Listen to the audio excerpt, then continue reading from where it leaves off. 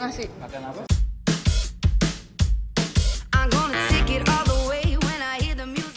Oseng daging tete paling pas dijodohin sama nasi panas nih guys.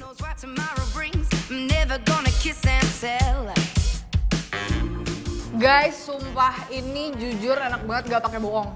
Ya, perpaduan daging sama pete ya. Jadi rasanya kayak gimana gitu. Hmm, kita bikin racikan yuk kak. Kita taruh pete.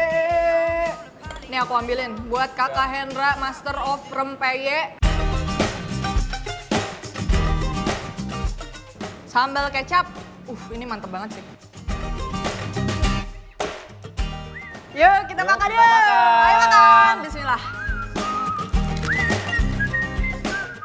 Oh, oh, oh, oh, oh, rasanya ambiar guys.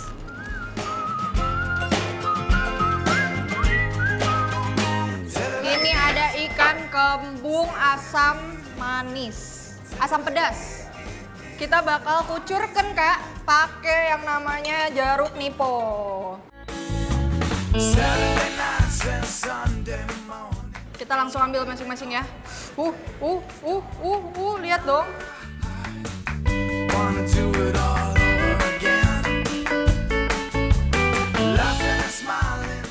Kasih ke teman-teman.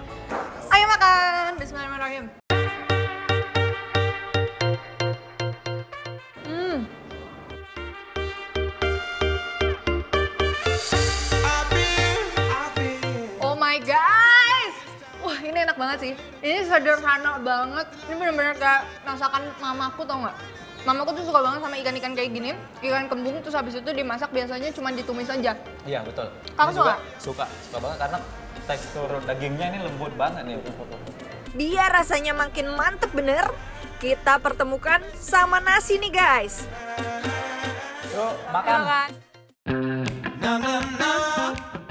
Makan jadi makin lahap kalau ikan kembung asam manisnya berteman sama nasi putih hangat. Uh. Oh sampai banjir gini kak. Kita cobain ya. Ayo makan. Mm, cruising down the west side. Got the Hollywood sign in the headlights. Yeah. Come on, baby, let's ride. Cause I don't see nothing wrong with guys guys, bikin lapar mau bantu laris usaha kuliner kamu nih. Khususnya untuk UMKM online di bidang kuliner ya. Kami bakalan nge-review kuliner kamu secara gratis tis tis tis. Makanya di follow dulu, terus DM ya di @bikinlaper Trans TV.